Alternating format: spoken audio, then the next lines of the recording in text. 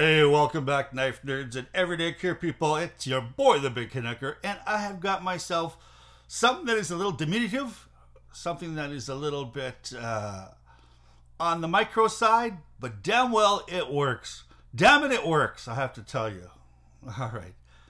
We are talking about, ta da, the Spyderco McBee. Now, I have to say that I am really, really quite. Um, I'm enjoying this knife uh, for what it is and what it's sized. I mean, I like really big knives, and a lot of people may not realize the how small this knife is because when you see it on, say, the Knife Center website, it's all blown up and it looks really huge. Well, let's have a look at this, what it's like against some of uh, the stuff out there. All right, if you've got a Dragonfly 2, it's actually smaller than the Dragonfly 2. And let's see, if you happen to have a Police 4 out there, yeah, there we go. That's the size of the McBee. It is, damn, it's small. Um, but it is actually a great little cutter, and it's a knife that I'm thoroughly enjoying. Now, not every knife needs to kill a brontosaurus like this uh, Spyderco Police 4 is. I mean, this thing here will hack your way out of the Amazon. It'll kill a, a buffalo and, you know, skin it and um, be ready for more where this little bugger here, the Spyderco McBee, I think they call it a McBee because it's used for skinning bees. Because it is diminutive, it is tiny. Another, here, one more thing what we'll do here is have a look at this picture. This is the McBee right next to the scar uh, on my leg. Everybody's been asking me how, how I'm doing, how I'm doing. Well, here's a picture of the scar on my knee, my leg and right beside the McBee. Pretty damn, pretty damn small, isn't it? But let's go over some of the uh, specs on this and then we'll go over what I think of this. All right, let's go here. And here we go. Overall length, I'm going to take my glasses off because I can't see, is 3.85 inches or 498 uh, millimeters long.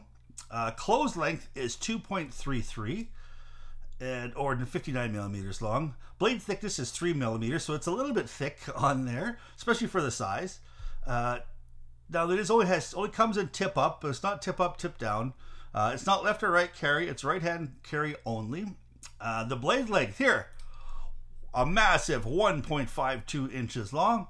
Uh, with the edge length of 1.49 and uh, the handle is of course made of uh, titanium uh, now the blade here is made of my actual favorite steel it's the cts xhp and even though this one is pre-owned and I put a little bit of edge on there, I actually have another one right here that is actually going out to a friend of mine. He actually, uh, we made a little bit of a deal, so I ended up getting him a brand new one.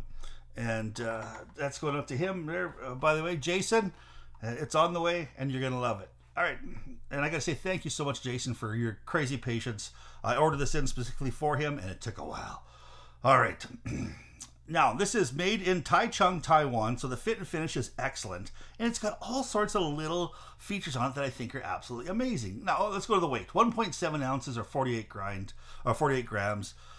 It's it's virtually this is like to me the the perfect uh, fifth pocket carry. It is small, square. Um, it's excellent, and it has really neat stuff on it that just I think you got to see to believe it. You know the scalloping on this pivot just an extra little touch. Uh, you got the speed holes here. Um, now you've also got the scalloping here on both sides, as well as the scalloping inside here on your frame lock. It is a, a Reeve integral frame lock. Um, you know, it's a little bit of a square-headed thing. There's no real crazy jimping on it, but it's really nice that I love the shape of this blade. It's it's totally designed here to fit your fingers and do some sort of kind of you know draw cutting on there for sure. Absolutely, like, you're not going to get more than two fingers on here. Now this here was designed by a gentleman by the name of um, uh, Jonathan McNees, and he has a version that is very very similar called the Killer Bee, and this thing here is so close to the custom version. Now this is if you're going to get yourself a McNees custom Killer Bee, it's quite a bit more money. But a lot of people will be looking at this. Uh, in the States, it's about 160 bucks for one of these. In Canada here, you're looking at a little over 200, you know, 219, 220, 215, just all kind of a little over $200 depending upon where you go here in Canada. And a lot of people look at that and they're like, holy cow, that's a lot of money. But it is excellent design. Um, the fit and finish is near perfect on this. Um, the design for what you have here, the workability for if you're going to get yourself a 1.5 inch knife to be doing some box opening and cutting and stuff like that, damn it, get yourself a Spyderco McBee. I love this little knife. It sits perfectly inside the bottom of my pocket. It fits perfectly in the fifth pocket that I have.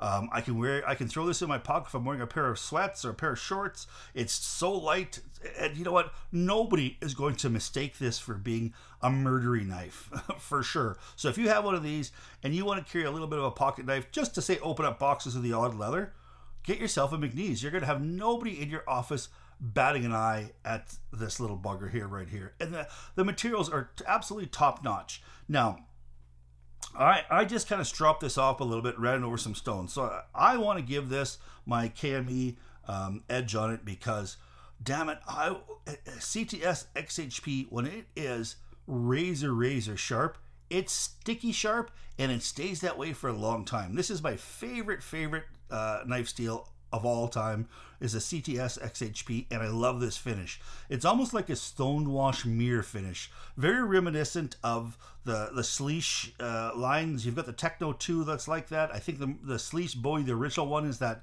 is that. Uh, uh, mirror polished uh, stonewash um, finish, and I, I, just love it. You know, if I was if I was Nick Shabazz, I'd be wearing a Batman mask, but I'm not Nick Shabazz, and I nor do I have a Batman mask. I'm more of a Marvel guy, actually. But now you're going to be able to use this truly one-handed. It's one-handed opening. You can kind of flick this out if you get it on a real good day, especially a thumb flick. I have Spidey flicked it the odd time, but it is so small that I, I just don't feel the need to kind of Spidey flick it because uh, it, it's more or less I'm going to drop it. And you don't have the same amount of access to the hole on the the, the, the lock side as you do on the show side. So it is way more easier to Spidey flick or to thumb flick than it is to um, to Spidey flick. And there is uh, now this being kind of a so close to a McNees uh, Killer Bee, Jonathan McNees on his website has got all sorts of little ads and odds and ends for this. You can get yourself a little custom clip on there that looks absolutely gorgeous. Uh, you can get a little thing that comes out the back of Backspacer called the uh, it's called the Stinger, and it just allows you to have that little bit of extra. So it gives you from a, a two finger carry to a three finger carry. And it is a neat little thing. It's called a, a Stinger. And I wouldn't mind getting one myself, but I can't find a way to any place to buy them. So if you know where to buy the, the Spyderco, uh, the, the uh, McNees Stinger or a Stinger for this, let me know in the description here as well, because I would appreciate maybe perhaps getting one of these. Just the the things that this thing can customize uh, to I think is absolutely so cool and so amazing. And I really, really like this knife. Um, I was wondering, first of all, when I first got this and I looked at it, uh, I bought this used uh, from a gentleman out in Ontario. And I was wondering, oh my goodness, is this thing going to be um, usable when I first opened it up? Because I didn't realize, I was like everybody, I thought it was a little bit bigger knife than this. And then when I actually started using it and started kind of cutting some things with it, and the more I had it in my hand, the more I liked it for sure. Um, it felt just so comfortable in hand. And not only that, it just, man, you know what?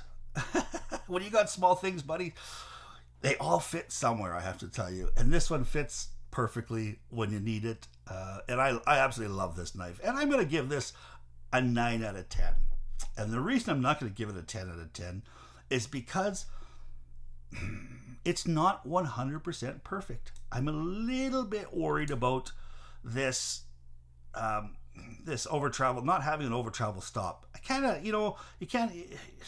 I think for the amount of money, having a little over travel stop because this is a um, quite a big, uh, quite a small knife, and it is not a whole lot of titanium that's holding this in. And I did notice that when I actually open it up and I go to close it, I can really pull on that really easily. I'm afraid I'm going to get Rami one day and give it a little bit too hard of a pull, and then she's going to be sprung over, and I'm going to have to either try to bend it back. Um, so that's the other thing that just I wish it had a little bit of a travel stop there, and that would make me feel a little safer with it. Now, I think this is an excellent, excellent knife. Uh, I think if you're in the market for a small, tiny knife and you're not a real big knife guy, or you're kind of, some people have some people get knives for just just more than just a tool. They get them to, as objects just to have. And you know what?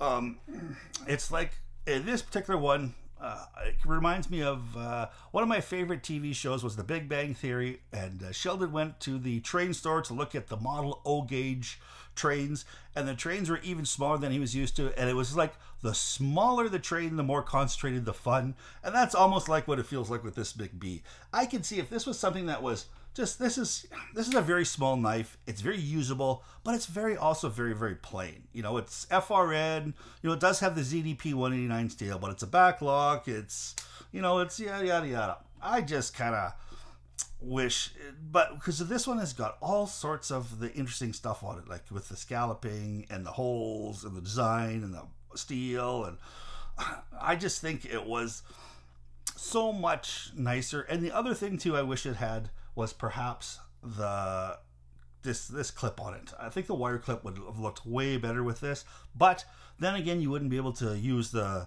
um, get the the old McNees custom clips, I suppose. But I don't know. I just wish kind of had the spider. I had I wish this either had the McNees custom clip on it because when you look at it, you're going to realize how much nicer it is. Or I wish it had the wire clip on it. That's my that's my story, and I'm sticking to it. So, if you liked what you saw here, don't forget to please, please uh, share, like, and subscribe. And also, if you're out there, please stay safe. Keep your stick on the ice, the shiny side up. This is the Big Canucker saying adios.